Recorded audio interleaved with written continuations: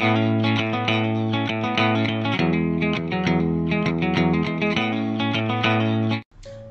Friends पिछले कई दिनों से हम लोग एयर पोल्यूशन पे चर्चा करते आए हैं। आपने भी देखा होगा न्यूज़ चैनल्स में टीवी में न्यूज़पेपर्स में सोशल मीडिया में, हर जगह इस एयर पोल्यूशन की बातें ही आजकल चल रही हैं। हेल्थ हजार्ड्स बहुत है इस एयर पोल्यूशन का।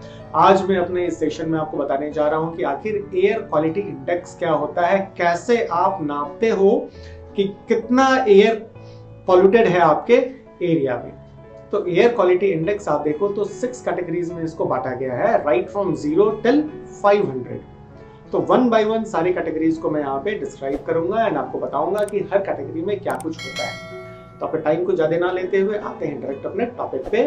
तो पहला कैटेगरी होता है zero to fifty that is green coloured तो इसमें है गुड दैट इज़ ये आपके लिए बिल्कुल हेल्दी है। यहाँ पे आपके, आपका एयर क्वालिटी डिग्रेडेड नहीं है।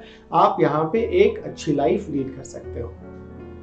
सेकेंड कैटेगरी जो कि येलो कलर्ड होता है, ये होता है 50 टू 100 दैट इज़ मॉडरेट थोड़ा सा अनहेल्दी हो जाता है यहाँ पे एयर पॉल्यूशन इस इस कैटेगरी में जो लोग सीवियरली डिज़ीज़ हैं, जिनको आस्थमेटिक अटैक्स आता रहता है बार बार बार बार उन्हें यहाँ पे प्रॉब्लम हो सकती है। लेकिन एक नॉर्मल जनरल पॉपुलेशन को, जो कि वेल हेल्दी है, उन्हें यहाँ पे सरवाइव करने में कोई प्रॉब्लम नहीं होगी।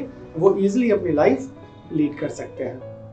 तीसरा कैटेगरी जो कि ऑरेंज दिया गया है that is unhealthy for sensitive population अब यहाँ पे जो लोग सेंसिटिव हैं यहाँ पे मैं एक्यूट सीवियर आस्थमा की नहीं बात कर रहा हूँ, जो सेंसिटिव है, जो अलर्जिक है, जिनको आईज में इरिटेशन होता रहता है या थ्रोट इरिटेटेड रहता है नजल एलर्जी होती है आस्थमा की प्रॉब्लम होती है, उन लोगों को इस कंडीशन में रहने में थोड़ी प्रॉब्लम होगी क्योंकि यहाँ पे आस्थमा एक्सजर्बेट कर जाता है। कंडीशन थोड़ी सी खराब हो जाती है।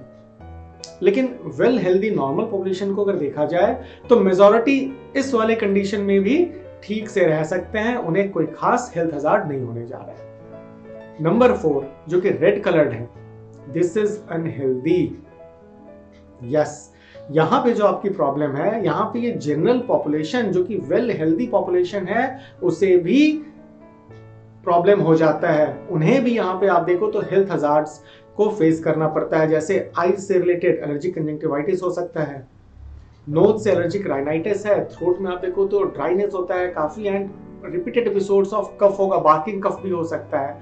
चेस्ट में आप देखो तो कई तरीके की वीजिंग ब्रोंकाइटिस आस्थमेटिक अटैक्स ये सब आ सकता है। हार्ट से रिलेटेड प्रॉब्लम भी हो सकता है स्किन में एलर्जीज खारिश, दाने, ये भी आ सकते हैं। तो ये था आपको रेड रीजन रेड के बाद आता है आपका purple region purple region vary करता है 200 टू 300 पर्पल रीजन होता है वेरी अनहेल्दी यहाँ पे इस कंडीशन में एक नॉर्मल लाइफ लीड करना जरा सा मुश्किल हो जाता है जनरल पॉपुलेशन के लिए भी, जो वेल हेल्दी कंडीशन में कभी हुआ करते थे, अगर एयर क्वालिटी इंडेक्स इतना गिर जाता है 200 टू 300 के बीच में आता है तो यहाँ उन्हें भी फेस करना पड़ेगा इन सारी समस्याओं को। एंड लास्ट जो कि छठा कैटेगरी है that is 300 to 500 maroon coloured hazardous यहाँ पे रेड अलर्ट जारी हो जाना चाहिए हर वो सिटी में, हर वो टाउन में, हर वो विलेज में, जहाँ पे 300 से 500 का एयर क्वालिटी इंडेक्स आया है। क्योंकि तो यहाँ पे एक नॉर्मल लाइफ को आप लीड नहीं कर सकते हो। उम्मीद करता हूँ ये एयर क्वालिटी इंडेक्स का स्केल मैंने क्लियरली आपको आज बता दिया होगा। अंडरस्टैंडिंग में कोई प्रॉब्लम नहीं हुई होगी। पसंद आएगा तो ज़रूर लाइक करेंगे शेयर कर देंगे सब्सक्राइब नहीं किया तो कर दें, क्योंकि आगे आने वाले समय में कुछ और इसी तरीके के वीडियोस आएँगे आपके लिए जो काफ़ी इंफॉर्मेटिव है। Thank you